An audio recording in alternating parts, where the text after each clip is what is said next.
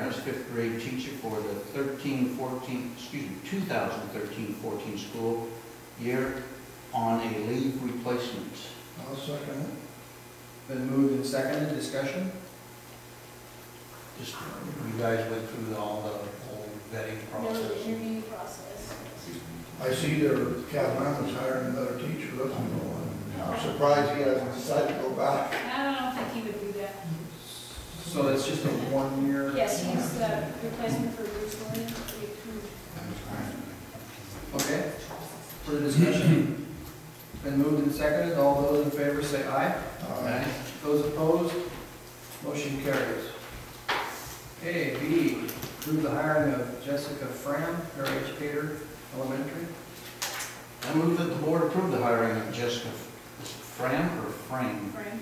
as a Fram. classroom paraeducator. Yeah. It's French. Second, please. Second. Been moved and seconded, discussion. And she's from where? Actually, she lives here at this time. Oh. I don't know where she moved from, California? I don't know. Kalispell, Montana. Further discussion? Questions? Been moved and seconded, all those in favor say aye. Aye. Those opposed? Motion carries. Um, Approve the hiring of Elizabeth Paul, paraeducator. I move that the board approve the hiring of Elizabeth Paul as classroom paraeducator. Second. Moved and seconded, questions? Discussion? All right, all those in favor say aye. Aye.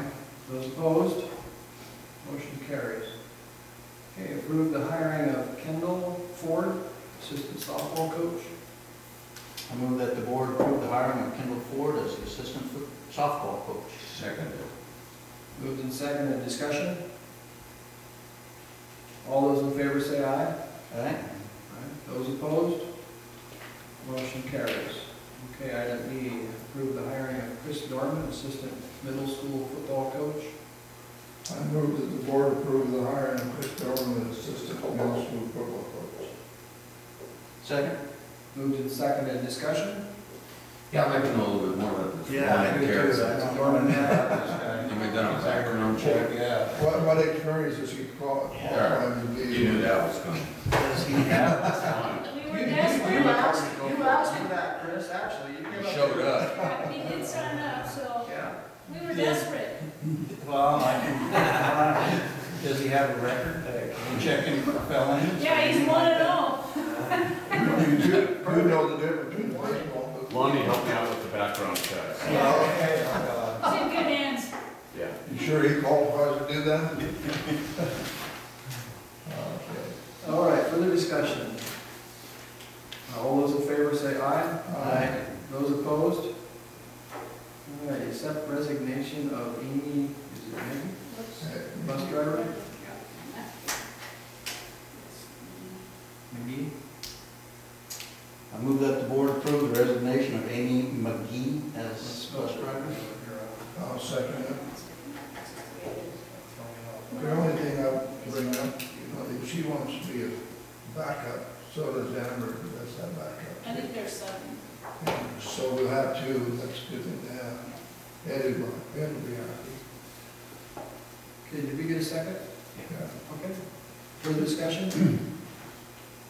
All those in favor say aye. Aye. Those opposed? All right, item six, public comment. We have one, that would be Chris Dorman, NYC School. Yeah, I just wanted to give kind of a perspective from a, a non-school faculty member, um, employee out of the camp. I, um, I kind of wear a hat of responsibility around performance outcomes, and we solicit information from the school all year long in terms of test scores and GED, um, success rates and dip- diplomas that are received and whatnot. And I was going through some of the exit interviews, we conduct an exit interview on every kid that leaves our facility. And it asks a lot about, a lot of questions about preparation for the next step in their life.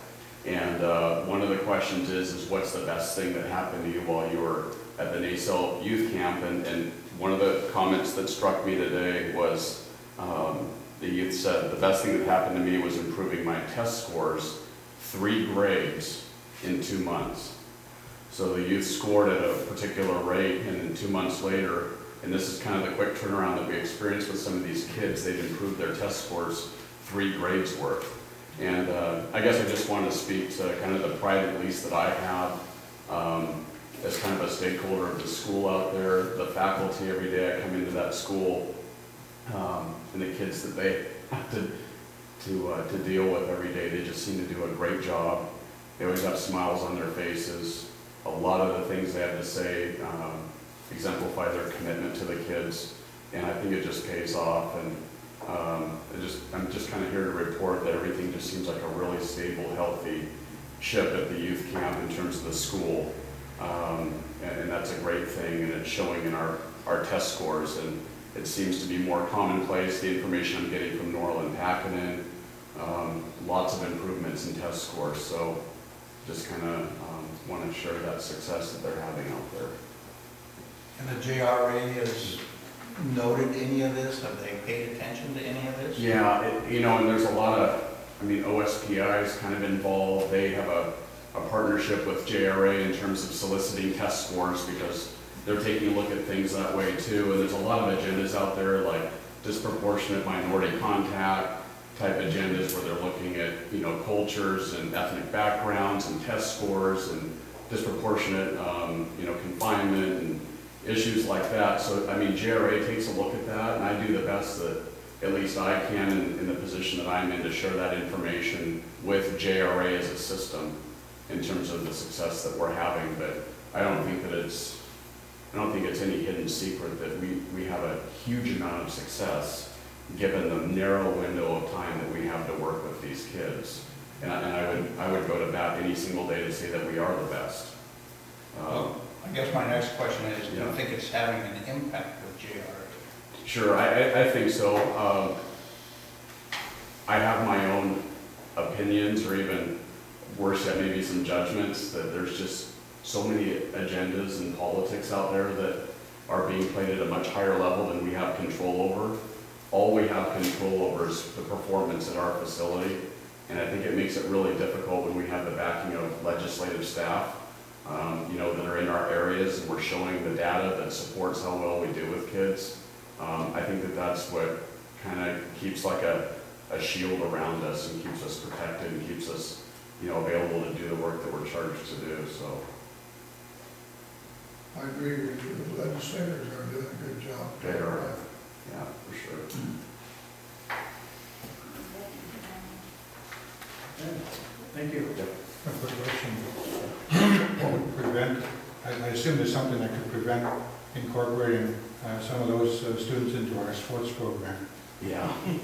Well, and you know, the thing is, is in the continuum of care with JRA, we have institutions where youth start their commitment for the crime they've committed, and then they transition many of them onto group homes or community facilities, of which some, um, or in fact, most of them have contracts with local school districts whereby which the youth, if they have enough time at those community facilities, can actually attend those high schools in that community. So for instance, uh, Canyon View Group Home, which is primarily a drug and alcohol aftercare facility in Wenatchee, actually has, um, I think it's East Douglas, I can't remember the exact high school, but the kids go to the high school there and some of them play sports. I know that in Woodinville, um, I just recently heard in the last six months about a kid that made the varsity team for the Woodinville, football team. And if you know the size of the school that you're dealing with up there, 4A, um, you're talking about a lot of kids and a lot of kids that are trying to make varsity, so that's quite a, an accomplishment by that youth. So um, I've always made the joke that, you know, we should create a group home at the fish hatchery that can sustain the fish hatchery. We can have the kids going to school here, participating in athletics and everything. Um, I'd love to think that that could come to pass, but it would take a lot of work and uh, a lot of arguing. Another big deterrent is the average length of stay is sixty-nine point nine days. So that's tough. Recommend from China. Oh, that's nasty. You know, that we had kids from Windy Valley, um, when I was in school there. And, and I remember a couple of them were not bad athletes. Well, uh, Lisa and I sit at the same meeting every Thursday, and we look at some of the profiles of these kids, and linebacker, fullback, Yeah. you We know, have a center name before forward. they. Yeah. So. Any more questions for Chris? Comments? Okay, we're gonna move on to item seven, unfinished business, second reading board policies, uh, thirty-two twenty-six, thirty-two forty-six, and forty-three ten. Okay, so these are the ones actually up for approval this time. They sent us many, many ones, but these are the ones we go into in detail. Um, So this one is interviews and interrogations of students on school premises. Um, Just kind of a summary here. That does happen on occasion. We make every effort we can to not have those interviews occur occur on campus. Um, There are and sometimes it is unavoidable, or this may be the best place to talk to a child, especially if maybe the investigation involves a home situation. Um, Lisa, I've got a quick question on that. Mm-hmm. Do superintendents ever establish protocols? We have protocols, Do we? Yeah. Do we have them already? so the parents do get notified when they come in. Karen and John can probably elaborate a little bit further, but, um, yeah, private room for interviews. Notifications. How often do they actually come here? We try to deter them as much as possible. Not too frequently. Sometimes it's home visits. Um, But they usually notify the parents. Right, and we don't want to get in a situation with the parent where we kind of, here, here's the, key, you know, turn the kid over to the people to be interviewed without parent presence. So that's uh, one of the procedures, parent phone call, if the parents aren't already involved in the situation. That one, um,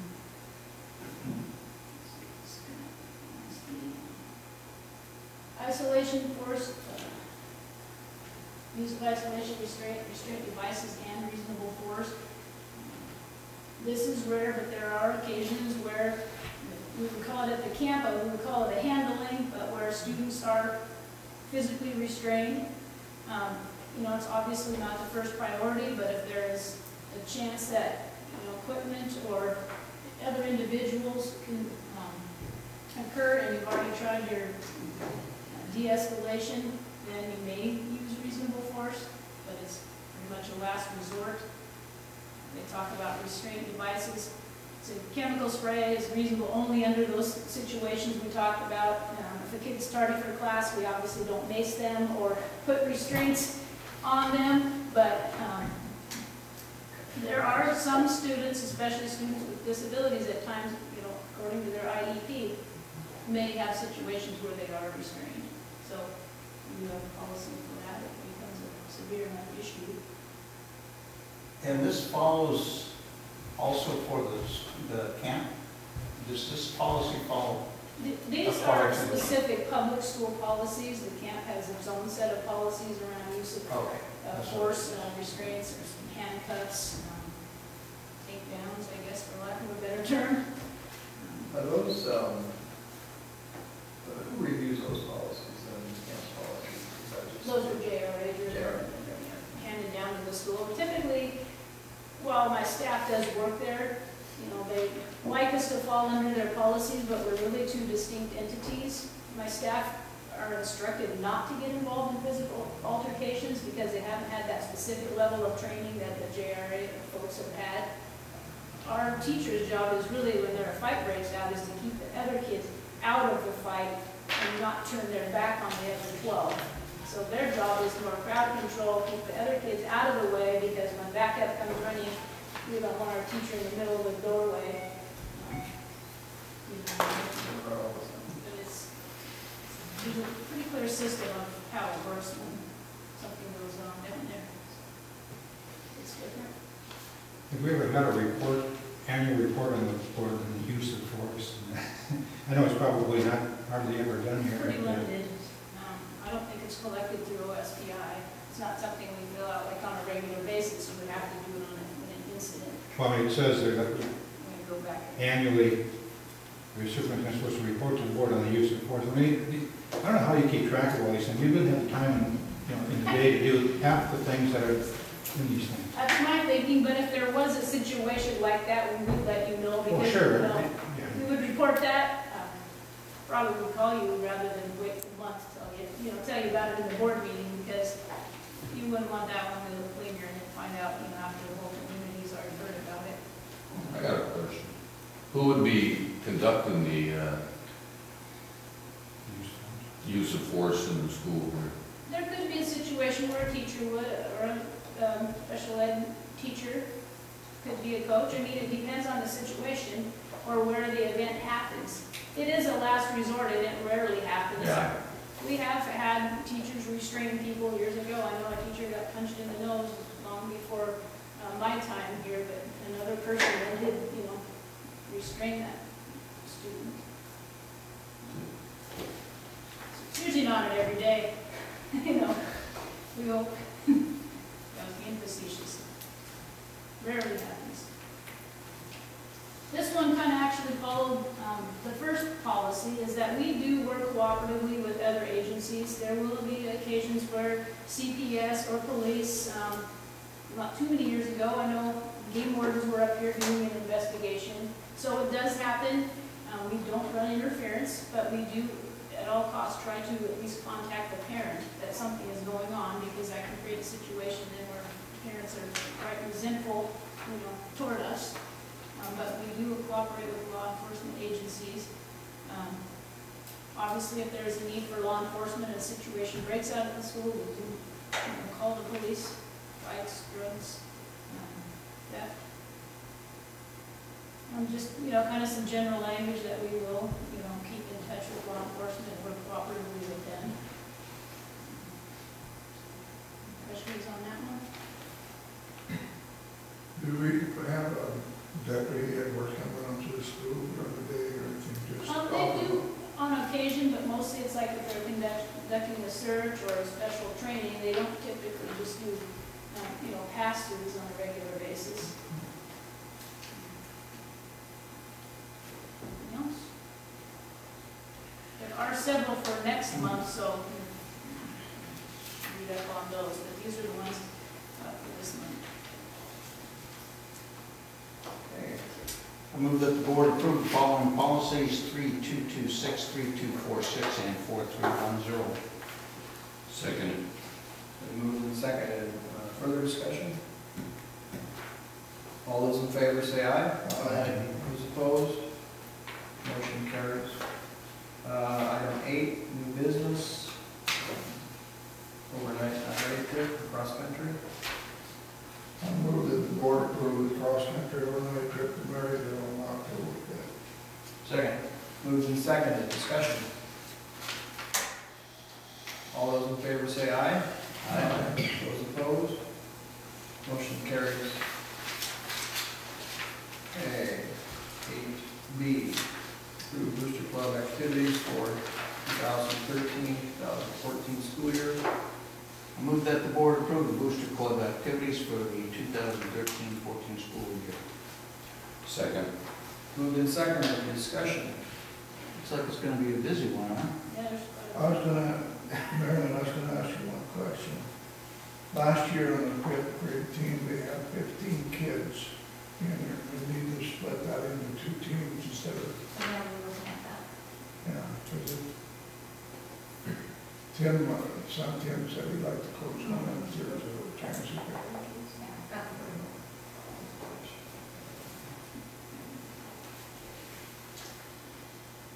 Okay, further discussion?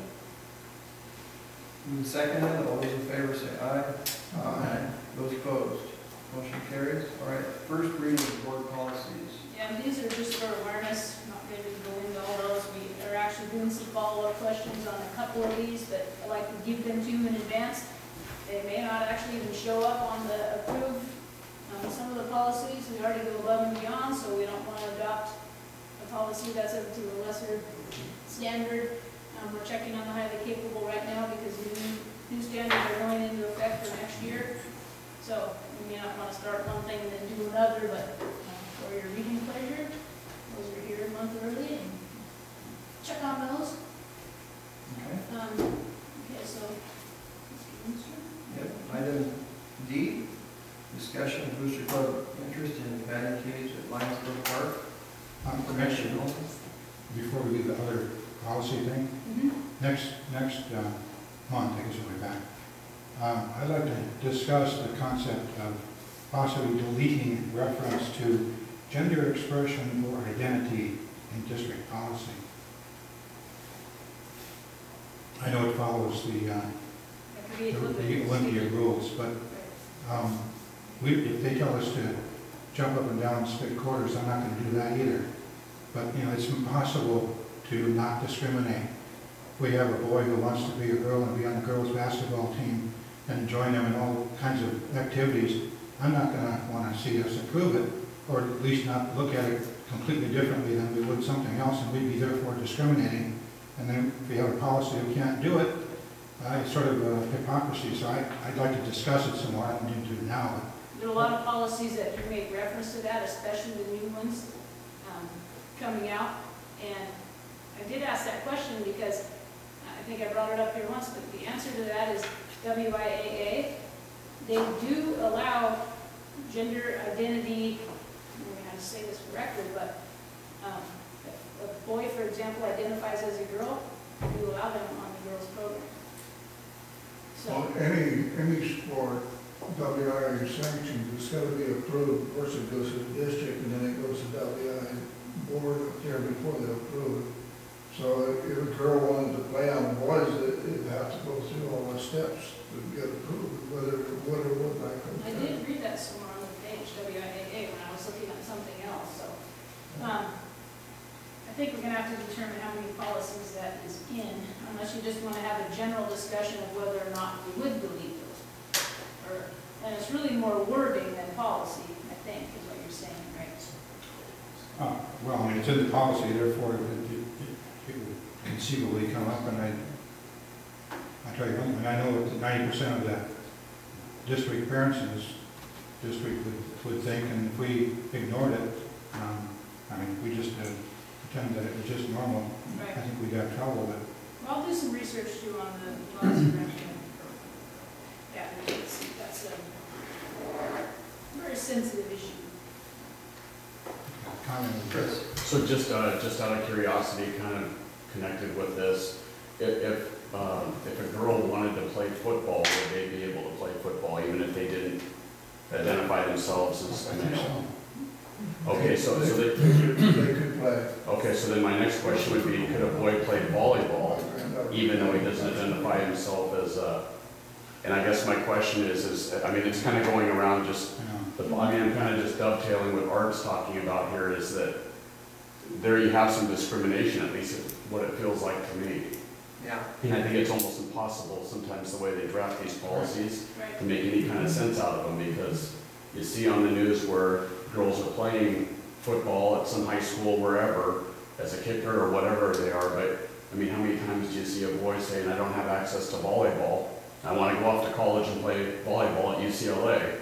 Why can't I play volleyball on the girls' team here? I mean, I'm just, I I mean, I'm just kind of just No, I writing asked that. that very question in response to that identity, you know. But even if it's not Right, identity even if it related, isn't. Well, there, there's, like wrestling, now there's a girls that do wrestle on the team, wrestling team. So that, that is happening already. I, I don't know how, what they would say about a boy going down into girls playing all girl volleyball team. That I would tell you. I just don't know how they arrive at some of this stuff, is what I'm saying, because that looks like discrimination to me, if we're considering everyone equal. I don't know.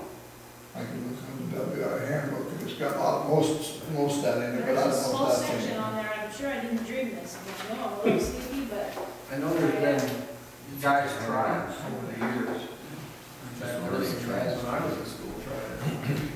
There's no way. So I don't know what that happened. And there was no explanation, just wasn't gonna happen. Is that on boys volleyball team, or volleyball team? Because see, I- my understanding is that the reason girls can play football is there are no football programs for girls. However, there are volleyball programs for boys, we just don't have one. So that's what I've understood to be the case, that we Well, I- can't, Yeah, I because programs, we just don't have one, but we, there are no girls football programs, that's why girls can play football. Well, see, Referring to your question, Chris, what if somebody was saying himself that they want to have a boys volleyball, then Ilwaco had one. That kid could go down and ask Ilwaco if they could play on that team. It'd have to be approved by the board, and then they could probably do it. It wouldn't affect their enrollment because he's only one kid, there were several, that it could affect the enrollment count. Yeah. Okay, anything else on discrimination, I guess? Randy?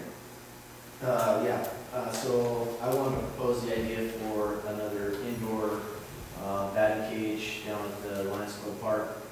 Um, basically, kind of the idea that we have would be, um, where the tennis courts are, uh, right next to the batting cage, I don't know if you're familiar with the way the batting cage is running now.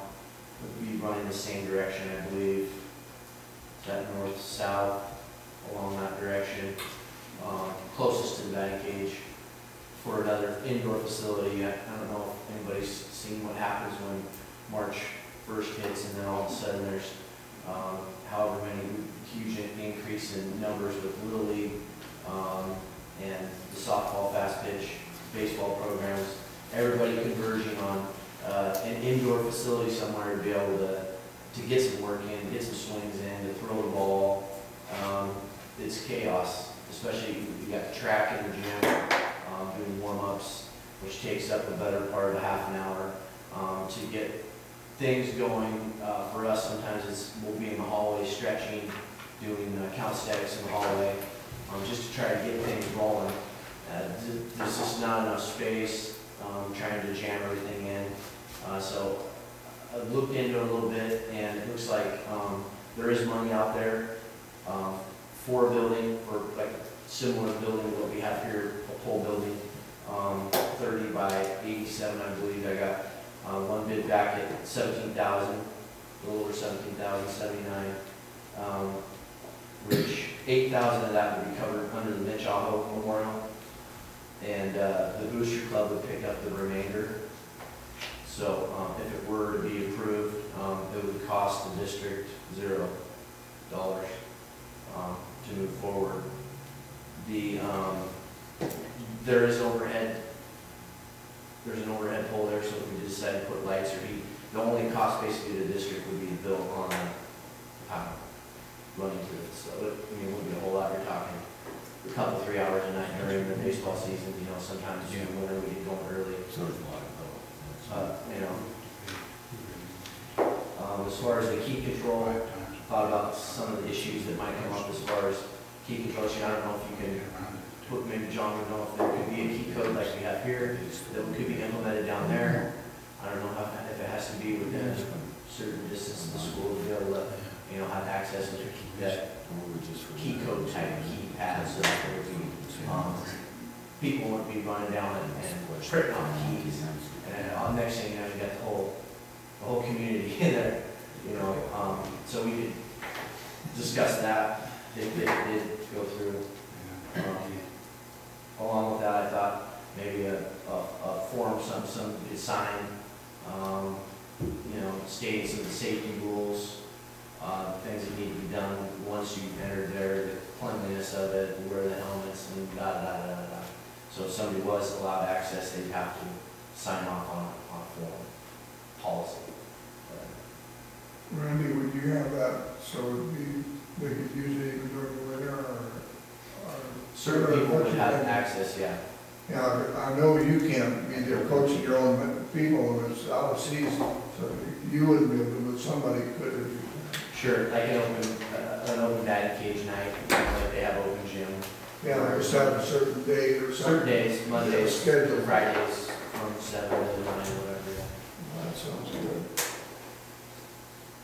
It just, it seems with, with the numbers we're getting, um, being a little league coach as well as a high school coach, it, it's crazy when you take twelve or thirteen or fourteen kids into a cage, and you have a couple of coaches trying to make sure everybody's not swinging, you know, and so if we had more indoor space available, uh, you could, um, have fewer kids in there at a time, It'd be- a lot easier to supervise those kids, so in the past, we have had some incidences where, uh, kid gets hit in the arm, or kid gets hit in the head, or whatever with a bat. Um, just because the sheer numbers, it's too much, it's too many, it's trying to keep everybody under control. So I think it's a good idea, I think it's a safe idea. Um, and the way baseball's rolling in the community right now, it's, it's huge in popularity, everybody, you know, we got, we had last year, we had a, a major AAA and, and two minor teams, you know, rolling through, so there's a lot of interest in baseball, softball, fast pitch. Um, And I, I absolutely understand what you're saying. Um, And I'm gonna, right now, this board and this administration is still in a bit of a transition period from the last superintendent and the thinking that we had. Right now, we do not have a facilities committee in place. Um, This board needs, I'm recommending that this board gets a facilities committee in place soon. We do not have an up-to-date 10-year plan that this facility should be providing to this board. Um, At one point, um, not this particular board, but this board purchased some property out here, and the idea was to get all the sports fields on campus. So I think that it would be ill-advised to, without a facilities committee, get an overall plan for what we really want to see done and where. I- Even though it wouldn't cost the district any money, because if the board, or the, I should say, the facilities committee, which I think should be a broad spectrum of community members, such as yourself and anybody else that would like to do that, come up with a ten-year plan as to what we would like this facility to be. Do we want to continue down there? Do we want to get it all up here where I, I think everybody would agree would be much more convenient than traveling down there?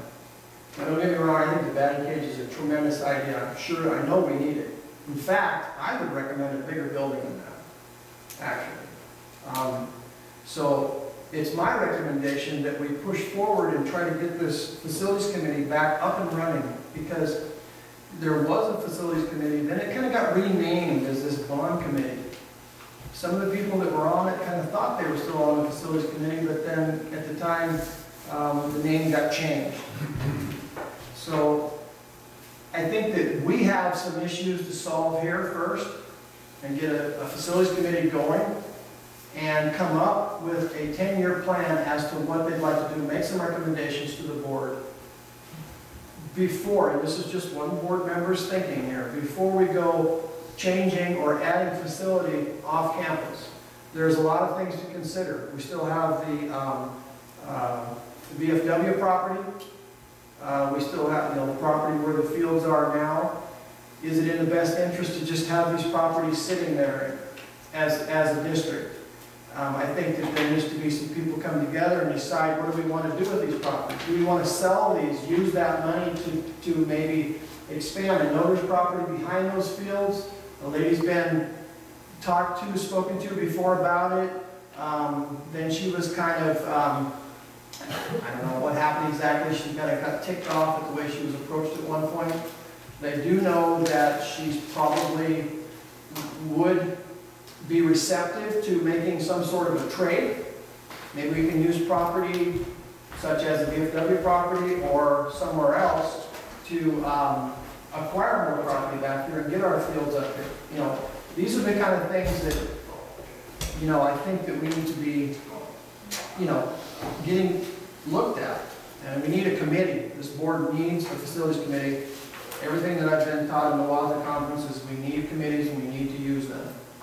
Um, Because it's just not, the board doesn't have a broad enough spectrum. We need more input from community. So, but I do agree with you, we do need another batting cage. But I would, um, you know, I would recommend that we, first we get our facility committee in place, and then start looking at that. And I appreciate all the work that you've done, but I really, um, and this could happen before spring, it really could. If we get a facilities committee in place, and get busy and get a, you know, a ten-year plan as to what they would like to see and make rec- recommendations to the board. Just one board member's thoughts, I'd, I'd love to hear the rest of your thoughts. Well, one thing, the property down there by the cemetery was, was already appraised. And that the cemetery would like to buy it for, uh, parking area. Yeah. So that was already done, and they had, they had, the cemetery committee did come to the board to talk to them about purchasing that. I think that we need to make. It's only a narrow strip. Yeah, narrow strip, it serves this, this district no purpose whatsoever. So those are the kind of things that I think that we need to be looking at and seeing if, you know, do we really want to continue off campus or are we better served to, to move stuff on campus? Just food for thought. So one thing that if you put a field up there, you're gonna have to make sure that the girls and boys are not too far, different distance, because when you get into that, like Vancouver got in their tennis court, one was, the boys were closer than the girls, so tying the line come in, affect the people come in, and so. So it costs them to put another tennis court in alongside, so they get equal Yeah. Well, so. we, it would need to be laid out and designed properly, yes. We did buy a, a piece of property back there and, uh, I don't remember how many years ago it was, I'm pretty sure I was on the board at that time. Um, And so, you know, the other problem was is we needed another piece of property back there to, to have enough room to have two fields, maybe what back to back or whatever, however that would happen. And I'm sure that as a coach, that would be much more convenient. Oh, yeah, I'd love to see it you put it here, I Yeah. just, the scuttlebutt on the street is that she was ticked off, like you said, maybe, you know, low bid or whatever type deal, and said, forget you. Yeah. I'm not selling. And then I'm like, well, if that's the way she stands, and if she's as stubborn as what I hear she is, then, Well, you know. Maybe, maybe there's, she- I- you know, I'm also told that she does arts and crafts and stuff, and maybe she'd really like to have a little piece of property right beside Opie's there, put her little arts and crafts shop up, I don't know. You know, maybe, maybe there's ways to work around that, you know, we, we need to take a little different approach, I think, rather than, you know, trying to play hardball with some poor little lady that, Yeah. now, whether she's poor or not, I don't know. Right, I mean, but, Are you talking about the property that's just by the baseball field there? yeah, kind of behind it back there, Like but, center field, basically, I think is what you're talking yeah, about. yeah, we would need more room back there in order to When you look at that on map sifter, most of that property is across the road. Uh, across the road, Her property, most of her property is across the road. He Well- bought that land from Greg Fiddle, Yeah, the road all that, separates uh, it. park and all that. yeah. I, I haven't, I haven't looked at it, all I know is that we, we bought property with that intent. And, you know, so the district Okay. has that investment, it would be nice to try and move forward, in my opinion. Since we did invest in land that's not doing us any good right now as a district. Maybe you said maybe facilities committee would be able to come in and- and look at the land that's there and get somebody in to be able, to- a professionally, though, yeah, there's enough land here, you can put fields like this, or Yeah. there's not enough land, you need to, you know. And some That of would it's be- wet, so there's the whole Yeah. delineation thing that, That would be, you know, something that needs to be looked at, but, but we, we, we need a facilities committee in place, you know, it's basically disbanded at this, at this point. And so, If, if I remember right, when Alan Bennett looked at it and talked to, see, I guess Arnie owned some land right there, and he said it wasn't big enough the way the land, what, what we got, we need additional land to put a baseball field. If I remember right, now, I'm not gonna say it, guarantee on that, but you Well- ask Alan, he might remember. yeah, and I haven't looked at that map specifically to know who owns what. All I know is that I was, that I know that we purchased land once already, and that there is enough land back there if we just can figure out how we can get it. Ed, did you have a question? Comment? By the time you organize a facility committee and establish a ten-year plan, you- you- it could be years. Well, step. Uh, I was wondering if you could have a separate committee just to focus on that one Mm, particular agenda there and kind of streamline it. Possibly, yeah, but I really, I. I really think that we need to get a facilities committee back. Well, you're looking at, you're looking at, it could be a long time. And time. that's fine, I mean, it doesn't, you, you know, we can, we can work on a long-range plan, it doesn't have to be done in, you know, a month. You Be can, nice to have it you in can the be next three spring. years out and work on five, six, seven, eight, nine, ten down the road. You know, what's important right now, we need to get those things addressed first. Well, Yes, Halls? Well, I wanted to ask, Randy, do you have a timeline right now? Or, I mean, has there been a timeline looked at when we actually want to complete this building, or? Oh, I mean, no, I haven't looked at a timeline, just basically because I wanted to put the idea forth, you know, in front of the board and find out even if it is possible.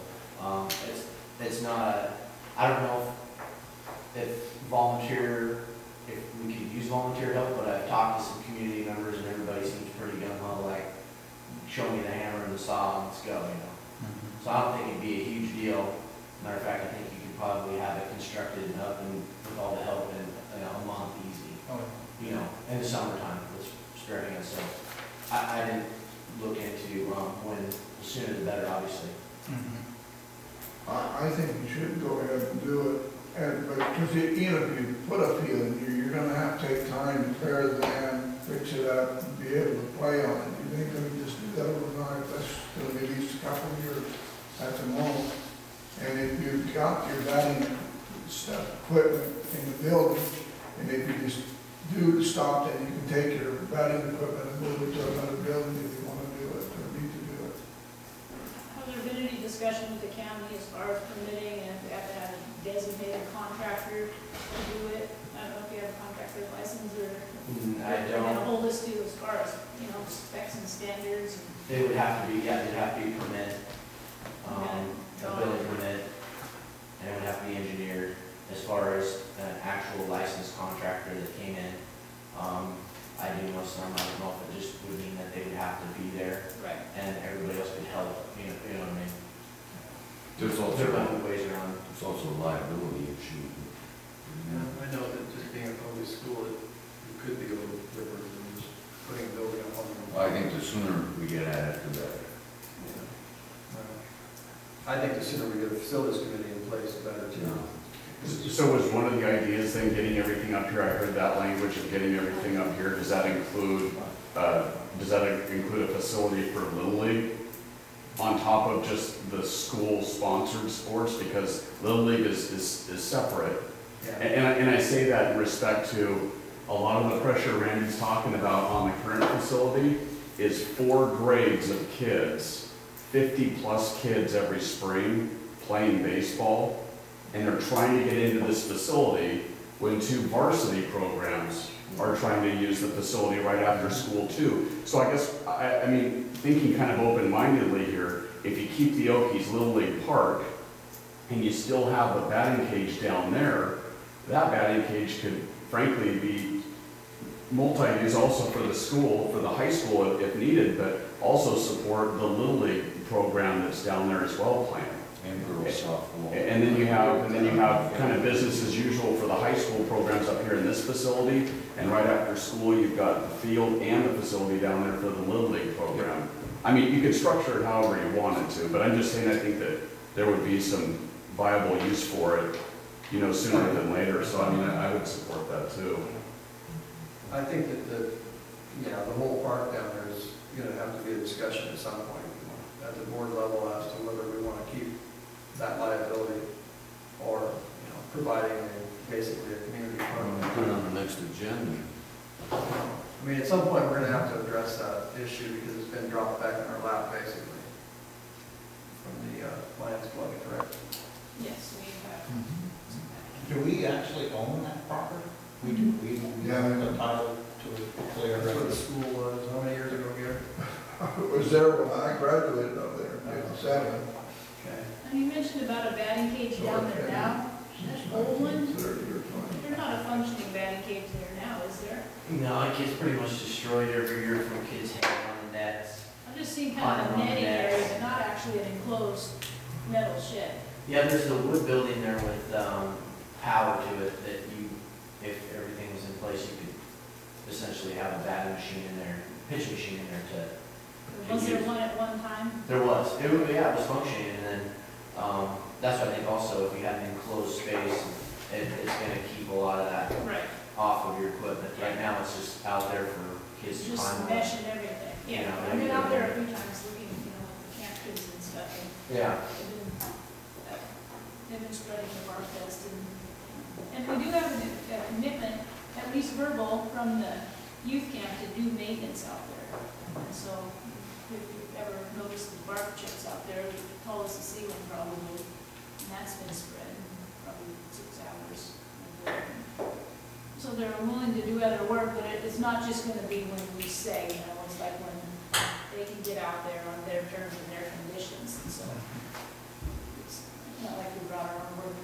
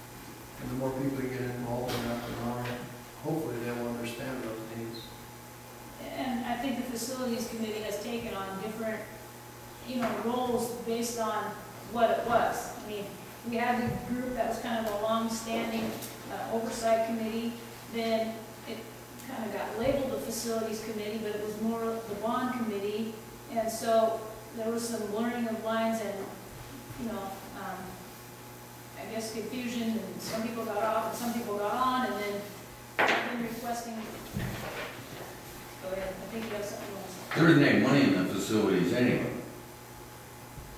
Correct? I have no idea. I'm not sure what you mean.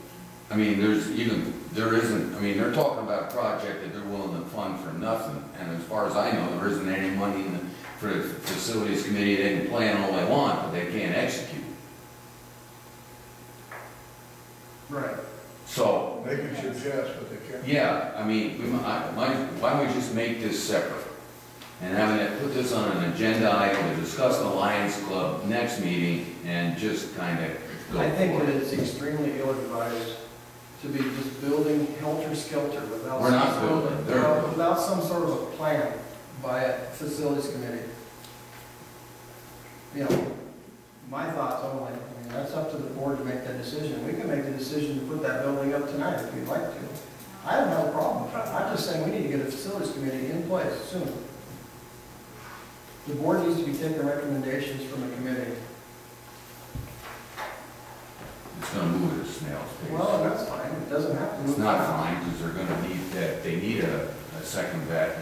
Well, I'm not talking about that particular issue. I'm just saying that we, you know, as a board, we need to be careful in, you know, not using committees. You know, that's basically, was the one-on-one, oh probably the first thing I learned. Get committees in place and use them. It's the best thing, the smartest thing the board can do. Because it, it it encompasses more of the community, it gets people in the committees that feel like they have, you know, an ownership in the school, rather than the separation that we just dealt with in the last bond debacle, where there was so much separation that we, you know, we were doomed right from the start. Except We we need to listened involve to, the people. We did listen to the committee, though, and there was a committee. Well, So it was kind of the exception maybe there, but, yeah. yeah, it was a, it was a, it was a committee, all right. I'll Say that. The one thing that bothers me is, why is the board doing, making the decision when they're not putting any money out? Uh, the only thing that they own is the strip of land and putting the building on. Because it's facilities exactly on, why. on district land, that's why the board has to make that decision. And the district will have, And I can get the policy book if you'd like to read it. I mean, the That's the district is board gonna be in decision. charge of the building. I believe essentially. it's in the sixty-nine hundred Yes. area, I was just looking at it before the meeting, actually. And that, that's where you gotta figure out, you know, yes, we may not pay for the building, but there will be key control, insurance, the ESD will be involved in the risk management. Um, They already are, to a certain extent, I mean, they come out and do checks on the park and send you little notes, and you should do this, and oh, thank you for doing that, and they, you know, every time the lady comes down here, she swings out there and snaps a few pictures, and so far she's happy. But, um, I mean, not that that's a bad thing, but if we do the batting cage and then say, well, now we want to sell that property because we're doing something else, and then you're, then it's pretty entangled. And so, and I agree with the long range planning, I also agree with the need. Well, there's, there's really, Randy wouldn't be no rush or we did it this one to next month, it wouldn't make any difference. No, I was- I mean, I, it, I'm just trying to see in the future, and I know last year was a little bit chaotic with the amount of numbers we had, and behind those costs, they just keep coming. The, the interest is there, and so I want to solve the, the problem of safety and being able to have the little leaguers in an area where they aren't crammed in one space, you know what I mean? Well, I, I agree with, with what Chris said, with it, with the high school and, and the girls and everybody trying to get into the batting cage with this one and just ain't doing it, because there- a lot of kids are, you can see it, the ones that have spent time in the batting cage, you see the difference in their play. And it would make a lot of difference for the kids that are coming up. I'd Yeah. personally like, excuse me, okay, I would like to know, you know, will the county approve this? Who will they require to build it? What do they require as far as, you know, engineering design? Because, you know, how much money, what if it's fifty thousand or forty thousand? I mean, is the booster club then gonna make up, pay that much more? I mean, sometimes the county is very, um, strict on their rules, and I wouldn't wanna you know, support anything necessarily until I had answers to those questions, which could probably be pretty easily, um, Yeah, know, that could be dug into. and- be gotten, I mean, we could know that in a week. Well, that's what my next recommendation was, that you go down and talk to, um, Tim Gross, is that who let the, me talk to Tim Gross. and see what his input, I mean, see what he's got to say, see what's, what the requirements are. Just Yeah, that's something I, I'd be willing to do. Uh, and I, I could be, I could be wrong, but I think the school's actually gonna have to do that, And Monty's is building. I would guess. I mean, if we appoint Randy to, to do that, then that probably would happen all right. But I think it's gonna have to be a school official, actually. I'd be glad to talk to him about it. Yeah, it'd be fine, or, or, or superintendent would do that, or the other. So you wanna move forward on the permitting process and see what that's gonna entail, is that what, is that what? I think it's, sure. a little more information, Yeah, it's- maybe it's some just more for bids, information Anyway, just- and uh, just kind of see what, what's gonna transpire. Sure. see if actually volunteer, um, workers can, yeah, can work on that. I, I'm thinking they probably can. Um, I know that the football field was put in, Steve can probably speak to that with a lot of volunteer work, so I'm assuming that it can be. Well, just as a coach, I mean, I appreciate everybody, the support and the thoughts and allowing him to move forward and ask some of these questions. You know, and not just kind of draw a line right now, so thanks for that. Okay, anything else on that? Okay, um, let's see now. Let's go ahead and get this last motion done, or then I think we'll open it up to classification discussion a little bit. So let's move on to, um, I believe it's nine E, approve, approve bus, I need to speak, approve purchase of new Thomas school bus. I move that the board approve the purchase of a new seventy-eight passenger Thomas school bus. Second. Twister, or is it just me? Well, I- when I say this, like the little red engine. Mm-hmm. All right. Thomas, All right. You get a second? Thomas. Second. Moved and seconded, discussion. Yeah, is is this a general depreciation It's rotation? part of the rotation schedule. Uh-huh. We got the funds in there and everything. Yep. It's due. You Ready to spend them. Further discussion? All those in favor say aye. aye. Those opposed, motion carries. We want to do the one B, two B as, as part of the superintendent's report. Oh, we can do that. Good, John, go ahead. No, guys. stick around. Is that okay? or we'll just- Give everybody out of seconds here. All right, Fine? Okay. All right, so business office report, the end of the fiscal year, August thirty-first. Um, now, on paper, it shows us ending with six, almost six hundred and twenty-two thousand dollars cash reserves. Um, However, uh, in reality, it's about hundred and thirty-two thousand dollars short of that. And the reason is, is because there was a timber sale in August, uh, late August, before OSPI could take the money back. So remember, we get timber dollars two different ways. We get it in the general fund we have a levy in place, which OSPI will take back, you don't get it. And you get it in the debt service fund if you have a bond in place. Now, we did miss out on eighty thousand dollars, then not having a bond in place. And, uh, that's just money that we won't get, it was dispersed to other schools. Um, I could have paid for somebody's salary that got moved out of here. Actually, it couldn't have, it could only be used for capital projects, but same point. Um, So I talked to OSPI last week, and they'll be taking that hundred and thirty-two thousand back in January. Um, I said, well, could you take it back sooner? Sooner? And I said, no, January. That's great. Yeah.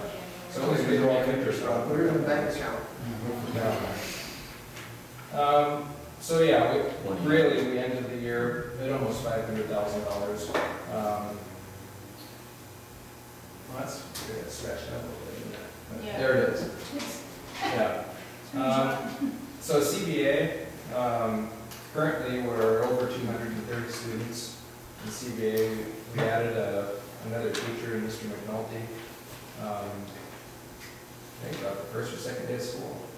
Um, Uh, Actually, before. Yeah, okay. And uh, he's already full. So we actually just posted another teacher uh, because there's more students that are, that are waiting to, to be assigned. Um, So I can see us easily hitting three hundred plus students here by December. And CVA has told us it could even go higher if we have capacity, so. um, that's good news.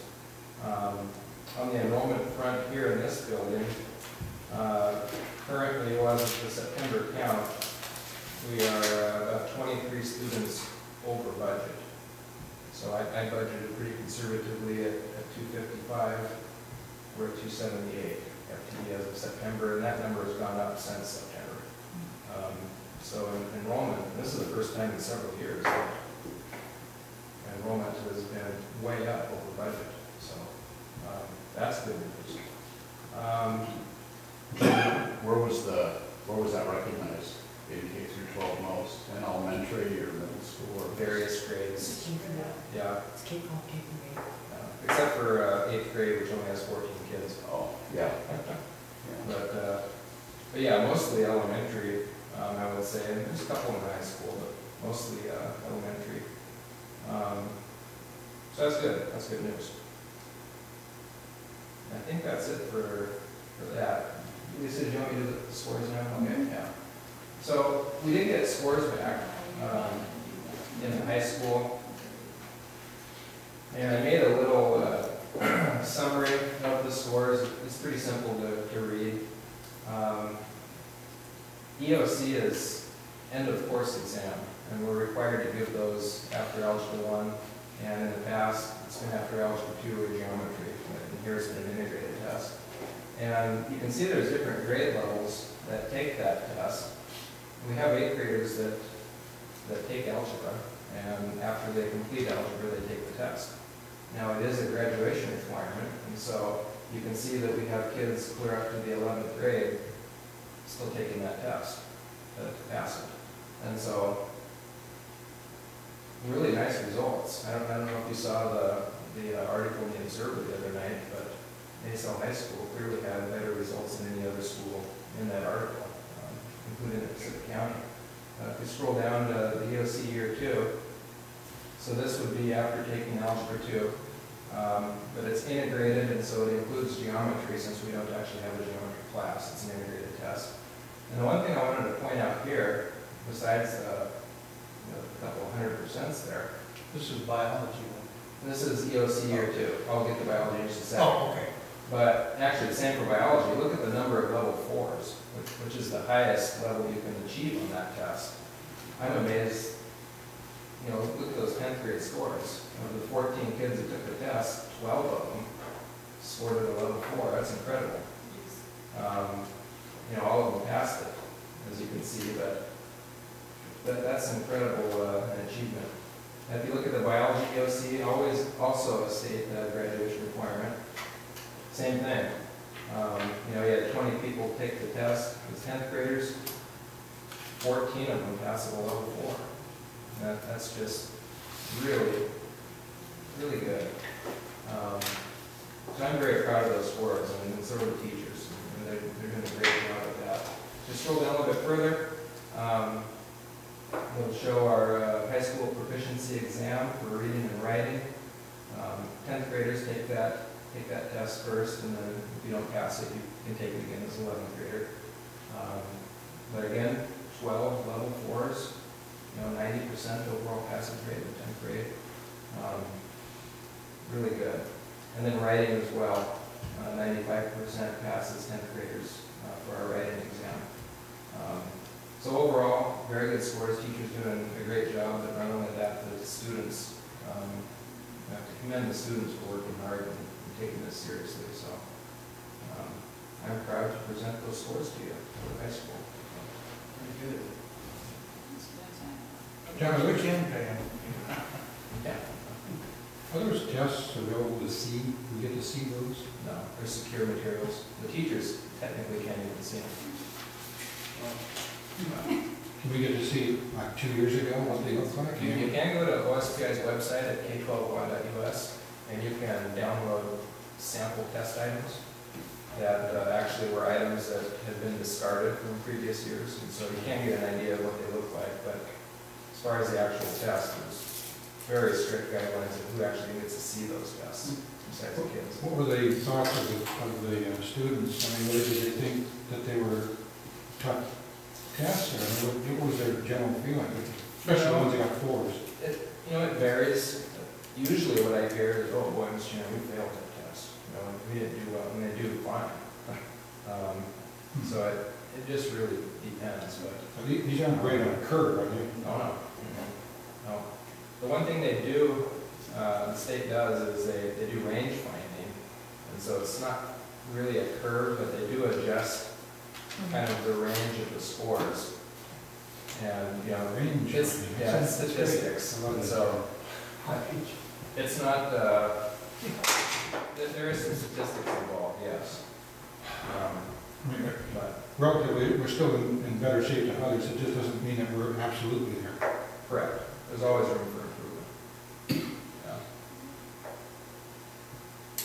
But I'd rather be in our condition than Oh, yeah, some other sure. schools. Anything else for John? All right, I Karen? got, I got one. Oh, Tho- Those timber dollars now, is that, that's for for this year, can we expect another similar uh, occurrence next year? I mean, I know you don't have a crystal ball. It just depends on the timber sales. Um, You know, that was the first significant loss, and you saw the email I sent to you, you know, Shelley sent it, said I don't mean to open old wounds, but you lost out, sorry. But, uh, I mean, it just depends on the logging that happens on, on those state lands, you know. Some people say that the marbled murrelet has it shut down, well, there was a huge sale in August, so, I mean, who knows? I don't, I don't know. I mean, there were people that didn't think that that was true, wasn't it? Wasn't there, on the bond? Like that was a fallacy? That they, you know, they, they, oh, no, it can't be serious, we're gonna lose eighty thousand, or whatever from the timber dollars, and now it's occurring. I, Yep. I heard that, yeah. Well, John went to great lengths to show. Yeah, I know, I know. Anyway, it is what it is. Yep, it is. But I just wanted you, the, the ending reserve for the general fund isn't as high as it looks, and I wanted to explain that, so. Thank you. yeah. Thanks, John. Thanks. Okay, Karen? I'm gonna do the other first. So, as John mentioned, um, our enrollment is up. They, we ended, um, in June with a count of two seventy-nine. That was a head count. And we are up a couple from the September enrollment report. We added a new kindergartner and a seventh grader. So we are now at two ninety-five head count. And we ended in June with a two hundred and sixty-three FTE, and we're at two seventy-nine point five, because of kindergarten is at point five. Um, So our numbers are up, and they are, we have, um, out of the 15, 12 of them are um, K group eight, and then three in, in uh, ninth grade, so we have some some freshmen. And we do have um, two very large classes, and I had mentioned that, kindergarten and first grade. So kindergarten is now up to 31, and as is um, first grade. But we have addressed um, the um, issue of the large classes by putting um, instructional assistants in there for the morning half, because the afternoon, when the students go to Mandarin, out of the 31 um, first graders, or kindergarten, excuse me, out of 31 kindergartners, we have um, um, 17 of them in, in Mandarin, so 14 of them in the, in the English class. And then out of 31 first graders, we have um, 20 in Mandarin, so there are 11 in the English class. So in the morning, we have as many as four adults in the first grade class and three in the kindergarten at the times when they're teaching the um, core academic content areas of, of reading. So that's been very beneficial um, to them. Mandarin just began um, last week, so Monday, um, last Monday, a week ago, was their first opportunity. So the two teachers, um, Tina, Ms. Tina and Lynn, were observing the other teachers, and then the students um, were um, you know, getting the familiarity of, of being in the classroom um, in English before they transitioned over to the Mandarin. So um, they've had one week now, and this is their second week in Mandarin. Okay, I want to let you know that every period in the gym is utilized for PE classes. John mentioned Sean um, is here, so he is teaching kindergarten PE for second, third, fourth. And then we have Bob Dalton and uh, Russ Hickman teaching the other PE classes. The only period in which we are unable to have PE is actually fourth grade, 11 to 11:50, because that is the elementary recess time. So we can't put kids in there at that time, so that's the only slot, and we definitely could use a few more um, spaces for PE, because we just don't have enough, so we're kind of juggling, we really juggle in an effort to serve all classrooms. Um, But we managed to do it. Um, One class is having to um, utilize a classroom, actually it's the fourth grade for morning recess, because what we've done this year, which has really worked out well, is gone to a grade appropriate recess. We used to have one through five, and what we discovered, and we talked about this, but what was, what were the logistics, how were we gonna manage this?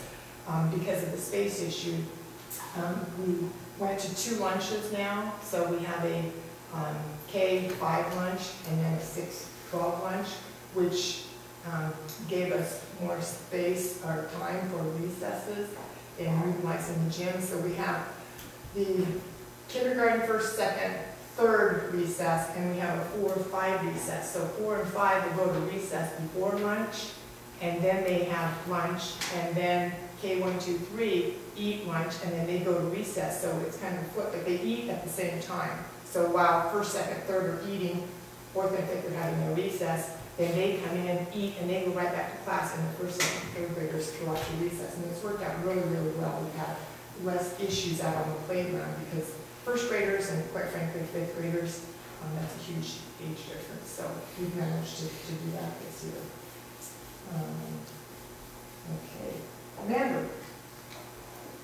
So we have seventeen kindergartners and twenty in the um, first grade class. And we have a video, YouTube video here that um, John actually put on Marilyn, um, went in and videoed for us. But I just want you to see what happened in four days. So they began last Monday, and on Friday, I asked Marilyn to come in and video. Um, it was the first grade class that we were in. And right from the get-go, um, on Monday, I said, I need to know a couple of words. Teach me two words. One of them is um, stop or no, and that's bushin. And the other one is um, tin shur, which means listen to teacher.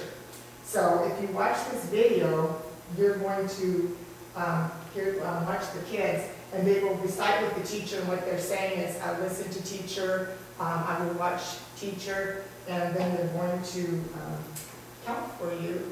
So it's, it's amazing, the enthusiasm and the engagement level that's here, so. You ready? mhm. Not sure I'll get back to the regular part once this happens. worked earlier, but that does not mean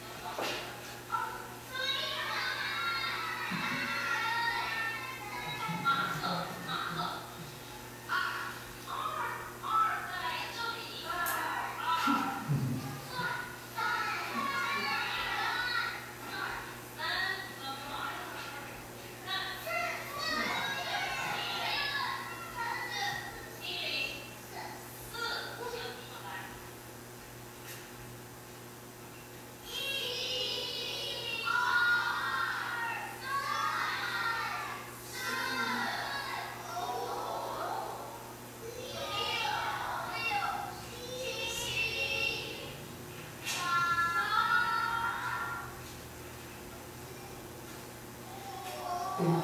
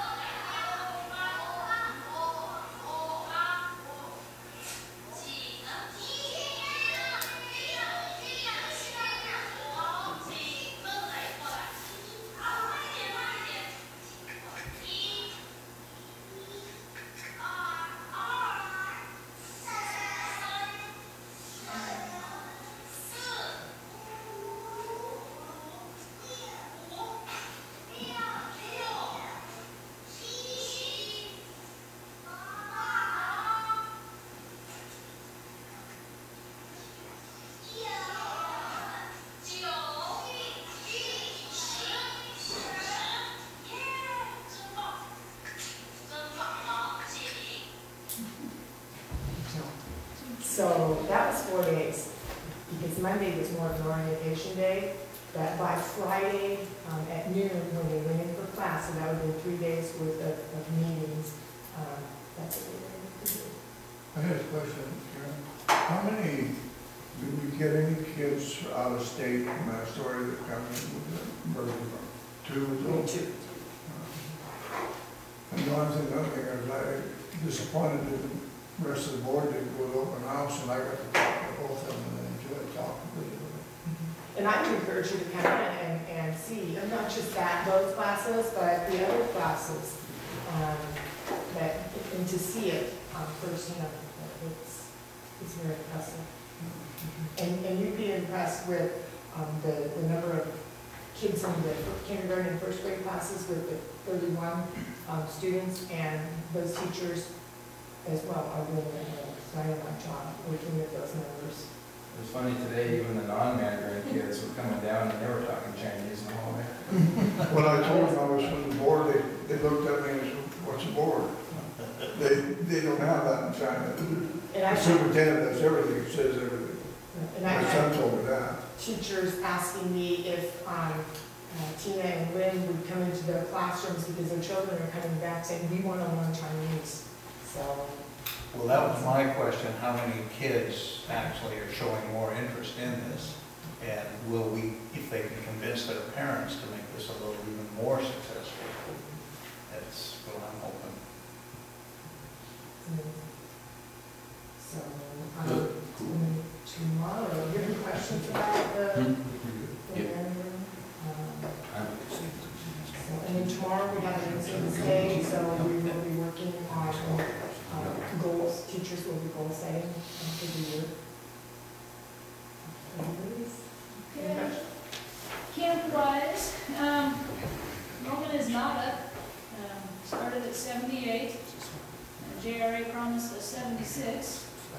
And that's kind of how the teacher exchange happened. We had an opening and I talked to Sean about it and he's come up and, work up here, especially with the PE program. And so since our enrollment dropped and there was a need up here, he said he would like to come up.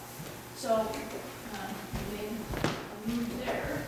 Um, That's what the transfer was. We did get the security and system, system installed. We talked about, I think it was two meetings ago, and we've already used it, so it's come in handy. Um, move on to the next part. We did have, um, for our teacher gathering, when, before school starts, we always do some mandatory in-service. This year we decided to invite retirees who had been here before. And we had nineteen of them show up. It was really fun to uh, eat lunch with them. Um, Lyle Patterson came, Dean Carter, people came as far as Vancouver, Longview, uh, several local people. Uh, One person, Marilyn Workla, said, I don't know how you planned this, but this is fifty years ago to the day I first started this um, building. And So it was, it was a a good couple hours while we ate lunch. That was fun. Um, I've Already talked about enrollment, Aaron gave you a little more specific information, I just gave you a general number. Uh, School's been off to an excellent start, there's a lot of enthusiasm, if you just saw some of it in that last clip. Um, It's nice to have some different cultures in the building, or, you know, learning words as we go down the hall, even the adults. And so it's been very good. Um, we do have an important meeting coming up. Um, once again, we will have to make a decision on whether or not to opt up into the two B classification. I'll give a little more details about that, um, that you can put on your calendars. The meeting will be September thirtieth at six thirty, in the comments out there.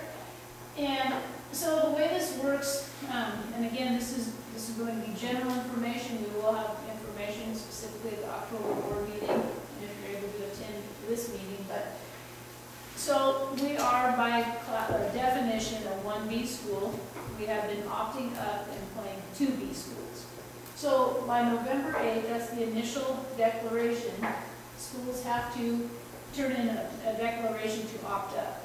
If you do nothing, you will stay at the classification where you, I would say, I guess technically belong enrollment wise. Now, there's been a lot of discussion, and Russ Hickman, our athletic director, has been to some meetings, and some people say they're gonna do one thing, and then the next week they say they're going to do another thing. So I don't know if it's posturing, jockeying, or just not knowing really what the best decision will be. A couple things we're doing internally, uh, Russ has a survey, he's going to survey the kids, he's going to get input from this community meeting, he's got some um, specific numbers he will share. He did come to a board meeting, I want to say May, maybe, and presented some numbers, and if I recall that, I think at that time he said our top three grades, and they, they used to, they used to count 10, 11, 12, but it was kind of pointless to count the seniors because they won't be in the count that determines what the next year looks like. So I think it was 9, 11, 12 was like 75 or something. If you have that in front of you, but, um, so you have to do your initial declaration, if, or lack thereof, by November 8th. There is going to be another window where you can essentially change your mind. Um, A couple of the significant pieces are if you are one B, you must play eight-man football. We used to have a thing where you could do, you know, eleven men to do some other things. And so I don't want to put out misinformation because we're still in the process of gathering that information. But another kind of significant thing that was mentioned is there's some really, what we would consider big schools who now may be dropping down into the two B, like the Montesano, for example, who's kind of been a powerhouse, at least at some, some level of sports. Uh, A lot of the one B schools don't have JV programs. Some of our programs are getting low numbers, and we may not have JV. Some of the one B uh, facilities aren't as nice as two B facilities. There's travel um, concerns. So, I mean, there's a whole plethora of issues, and that's why we just want to open it up to the community, uh, not exclude, and get the information. Gilbert's going to be having some information here in a week or so. Russ has, there will be another meeting he goes to after this 30th date, but before the board meeting. So we do plan to bring a recommendation in October, because there isn't time to do it at the November meeting, because you have to do your declaration by November 8th. And so, um, it's a- two-year window, but I think there was talk about making it a three-year, but I don't think that ever got through. Well, next, next year, the count, it- this next count is, it's eight, nine, ten, and eleven. They moved it back, because they said that too many kids at twelve year, grade twelve are already out, so they don't affect their count. They won't have the actual count, so the count now is moved down to eight, nine, ten, and eleven. So that's what you gotta count your enrollment. So it's gonna be four grades now instead of three? How's that? It's gonna be four grades? Yeah, you, you count as four grades, is what you do. So your, what your enrollment, that's what, they figure when you're playing the next year, that's what your enrollment's gonna be in, in that school year. So, um, you know, I don't I misspoke anything, maybe you guys have. I heard it was nine, ten, eleven. That's what I thought it was. Lisa, would you, would you explain the independent status, because that, that's the third option? Yeah, that I can't explain too much about. There's so many factors involved in that, whether it's independent and which way and what sport and What, I don't even want to go there because I'll probably misspeak on something. Um, we weren't really prepared to go into the whole thing tonight, and so there are, there are a ton of options. There's been schools talking about doing that. Um, Well, they, yeah. if we, this is We have should, should go as independent, fair independent. And then you play, you can play anybody you want to play that will play. you. But at the end of your season, you go into the tournament, whatever bracket you are, whether you want to be two B or whatever, that's what you would have to do. If we stayed at two B, we would just have like to stay in the league, we wouldn't change that because. But if we went, what, one B, then we could go as independent and we play anybody, whoever we get, and then you still got a chance to play into a tournament.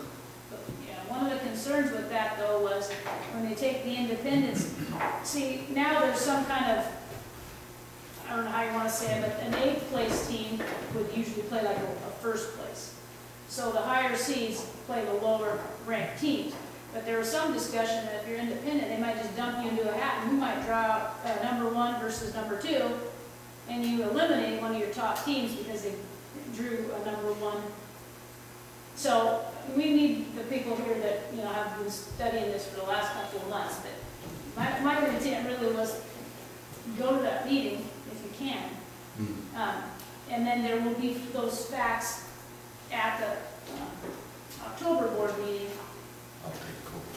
Well, I, what I'm interested in, and I, I might be wrong on this, but the teams like the upper league in, uh, upper, toward Vancouver now, the, like the first and second place team wouldn't be playing, but the lower teams would play, see if they'd be available. How many, depends on how many team tournaments they're gonna have, how many's gonna be there. See, like you got now, you got Canal, you got Oakville, you got Mary, Mary Knight, you got, uh, North River, and Wishkah, which have all gone independent. So you, you would play, you could play them, or you could play, uh, uh, somebody else, uh, not knowing who that would be. And the district, like, uh, last year, I talked to Canal, independent, they ended up playing a Christian team in Vancouver, came to Aberdeen, they played neutral side. Well, if you're independent, can you still play eleven-man football and Well, that's, be one B? Don't, what there's, what you can do now, this committee is looking at doing this, this was discussed at the WIAA, and it was discussed at, at the district meeting, about having the school take and opt up one sport, and then you could play in that sport like if you want to opt up to eleven-man football. Now, that hasn't been decided yet. But there are, there's several other things that are going on. Number one, there's a committee that's looking at the private school, public school, the difference of what's going on. And they may take and put them into a separate bracket. that's what needs to happen. That- And they, then if they do that, because there is about forty or fifty private schools, Five out of the top eight. then you have a, a change instead of one B, two B, you would have a B team.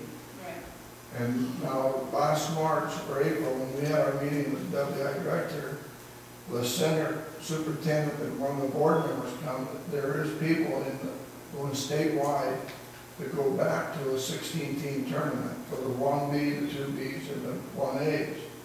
But if they consolidate the, make the private school go one tournament, then, then it would be just Bs and the one As. But see, that's still not decided. When this shakes up a little more, I will get you something as soon as I can, because right now it's more confusion than answer. Uh, but we, we do need to make a decision at the October meeting, so if Russ gets something, uh, I'll do before that, and I'll get it out to you as soon as I can. Is is it possible Russ's information might be available before that meeting so that you can come prepared with questions that you might have to Before make better use of? Huh? before the thirtieth, Well, yeah, I mean, I- even if, it I don't know if it's feasible to post He it to has the some website, things. or like even just a bullet point of items that he'll be speaking to, rather than a full-born yeah, thesis I I will around talk that. to him, um, yeah, because it's, I mean, I mean, every day it's a new we're- scenario, and the teams like Valley that said they were gonna do one thing, and now switched and done another thing, and so it's a little cat and mouse trying to figure out what everyone else is gonna do to see if you could have your own league here. Because there are a lot of one B schools in our area, but because of traditional rivalries or this or that, have done one thing, and now that we're doing another, and, uh, Well, you take right now, there's, there's, besides Morrison, I'm talking about, uh, Rainier coming down, talking about Toledo coming down. These are all powerhouses coming down, from one A coming down to B. And uh, if you stay two B, I guarantee you, one chance out of a thousand that you might make it to state. Because you're gonna get beat out of these big powerhouses that have been in, in the A, which even showed it for years, like Mount St. So what, I- what I'll hear probably to some degree, what's going on, they'll talk about it at the district board meeting, I'm sure. And I'll try to bring that to the meeting we have it on uh, September. And that clarification, that's a three-year commitment, because I heard, last time I thought I understood it was a two-year commitment. I've been hearing recently that it's now changing to a four-year commitment Well, they voted on that, they voted it down. to what? Four, it stays at two years. It is gonna stay at two? Yeah, Oh, that's, that's good. that's what the- was voted last Four year. years is a long time. No, I know, right. I can support a two-year, much Right. I don't know, who who was proposing four? Sometimes. That was, uh, You know. the bids, the WI director of the board doing that. I see. They, they said it's too much change, they they don't like to the paperwork, so they want to just make an excuse for it. Now it's in trouble. And The reason we want a one B, two B tournament is because the one year, a couple of years ago, uh, one B lost about forty-some thousand at Yakima, and I think the WI director was worried about losing his salary, because he gets a hundred and seventy-six thousand dollar salary. Gee whiz. So he gets more, makes more money than the governor. Well, of course, what do you expect? I mean, uh, Not more than the But- TD manager though. Tell you, the funny thing is, Oregon's WI head, director gets only hundred and twenty-eight. Wow. all right. Well, keep Let's move on. Yeah. So, a couple people have asked, you know, when does the new board take over? And, uh, this RCW, you know, I still don't give you a specific, but it says the next board meeting after the results are certified. Well, It doesn't usually take too long to certify the results, but most likely that will be the December seventeenth meeting. So, I would ask you to put that I don't remember who at the moment. That's all from me. Okay. Questions? Any questions for Lisa? Do you know when the filing date is? No. I will. Okay.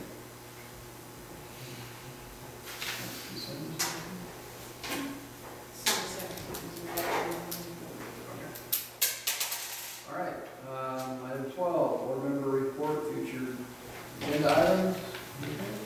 I don't have to add, I think that's it. Go ahead, Ed. Yeah, I'd uh, like to further discussion on the facilities committee and the Lions Club status at the next board meeting.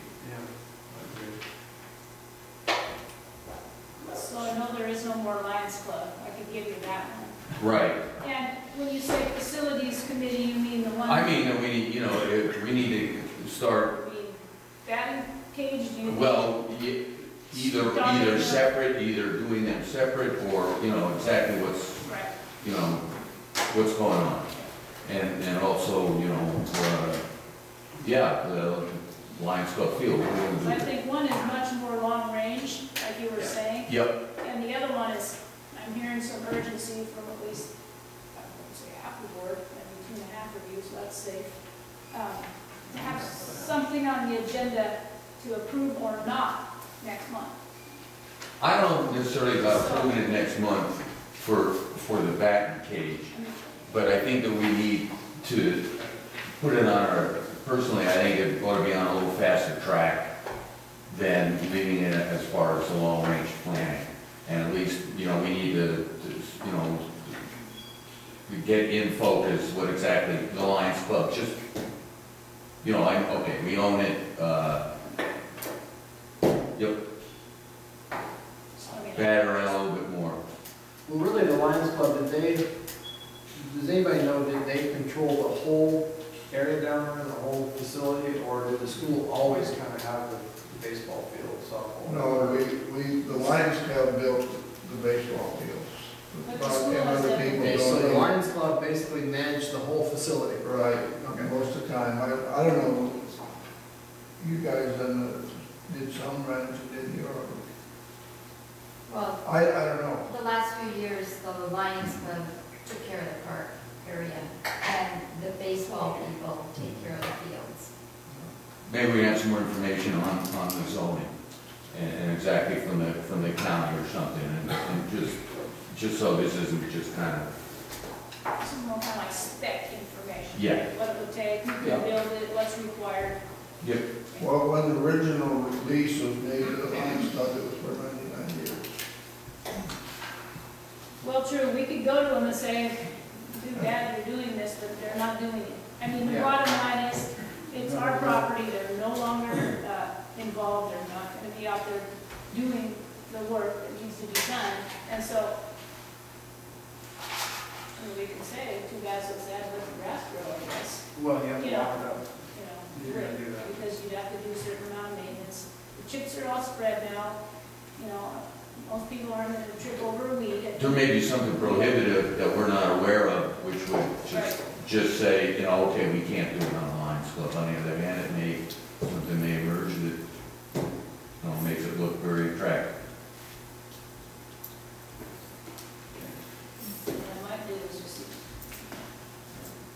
How many people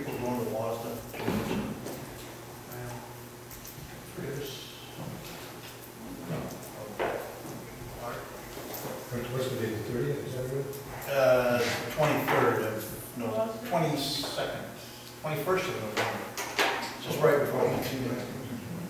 Is it? I think so. I can argue. I, Made it. 21st. It might be.